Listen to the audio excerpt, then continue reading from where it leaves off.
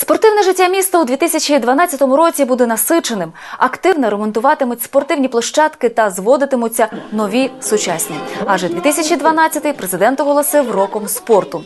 Про це під час круглого столу повідомив заступник голови комітету по фізичній культурі і спорту Вінницької міської ради Олександр Білінський. Акцент робитимуть на розвитку інфраструктури дитячо-юнацьких спортивних шкіл.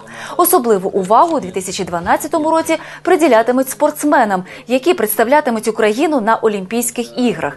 Після того, як спортсмени офіційно увійдуть в збірну України, вони будуть отримувати стипендію міського голови. Усіляко підтримуватимуть і спортсменів з обмеженими фізичними можливостями, які представлятимуть Україну на Паралімпійських іграх. Одним із пріоритетних заходів, запланованих на цей рік, є проведення чемпіонатів міжнародного рівня. Загалом на розвиток фізичної культури і спорту з бюджету міста на цей рік виділено 12 мільйонів гривень.